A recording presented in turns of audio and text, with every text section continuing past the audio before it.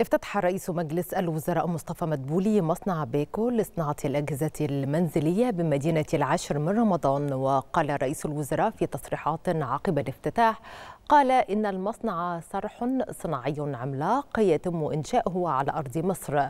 وهي واحد أو هي واحدة من الشركات العالمية الكبرى. وأوضح أن هناك عمالة مصرية عملاقة داخل المصنع ونموذج شراكة ناجح للغاية. بسم الله الرحمن الرحيم. آه، الحقيقة النهاردة أنا سعيد بوجودي مع حضراتكم. يعني أنا وأخي وزميلي معالي آه، نائب رئيس الوزراء وزير الصناعة والنقل ومعالي وزير الإسكان ورئيس الهيئة العربية للتصنيع وأيضا السعادة سفير التركي والقائمين على مصنع بيكو. الحقيقة عشان نشرف النهاردة بافتتاح هذا المصنع اللي هو الحقيقة صرح آه، صناعي عملاق بيتم إنشاؤه على أرض مصر. والحقيقة يمكن يعني مصدر السعادة الكبير لنا النهارده إن ده واحد من الشركات العالمية الكبرى اللي الحكومة المصرية استهدفت إنها تجتذبها للاستثمار في مصر وإنشاء مصانع مش فقط عشان تغطي السوق المحلي ولكن أيضا عشان يبقى مركز إقليمي للتصدير لكل منطقة الشرق الأوسط بل وأوروبا أيضا.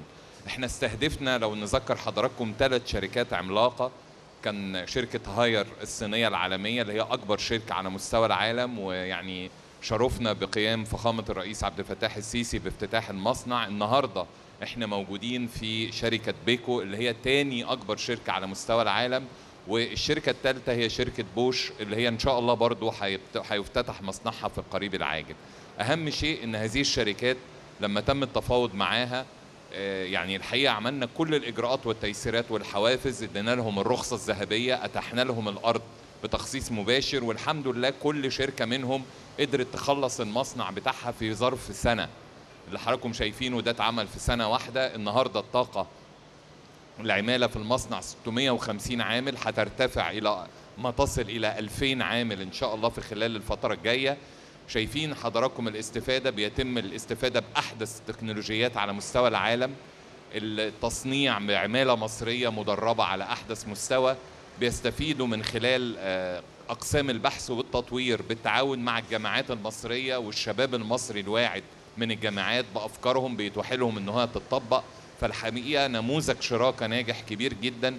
إن شاء الله الدولة المصرية كلها كحكومة وطبعا بتوجيهات فخامة الرئيس وبدعم المجموعة الوزارية للتنمية الصناعية اللي النهارده شغالة على هذا الملف المهم هنجتذب بإذن الله أكبر عدد من الشركات العالمية على مستوى العالم في كل القطاعات وده استهدافنا ودي أهدافنا النهارده كحكومة إن يبقى عندنا في كل القطاعات الصناعية أكبر منتجين في العالم موجودين في مصر بإذن الله.